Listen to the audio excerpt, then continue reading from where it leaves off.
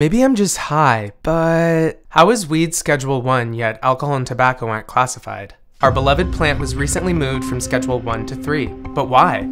To seem progressive to voters. Elections are coming up soon, and it makes me look great. Oh, you look so good. I know it. It also changes something without really having to change anything for now. Schedule 1 substances are those that have been deemed dangerous, habit forming, with high risk of abuse, and of no medicinal value. Tobacco and alcohol check all of these boxes. Every year in the USA, there's more than 178,000 deaths from excessive alcohol use, plus 11,000 DUI related deaths. While smoking tobacco is the number one preventable cause of death in the US, killing over 480,000 people per year.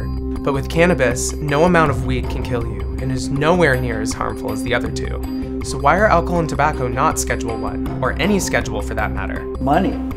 They got it, and we want it. Yes, lobbying and campaign financing are big contributors. Since they're funded and legal, they're regulated by a different set of laws known as the Alcohol and Tobacco Tax and Trade Bureau. Not to mention, arresting people for drugs has no effect on drug use or overdose rates. So why continue to do it? Make it make sense.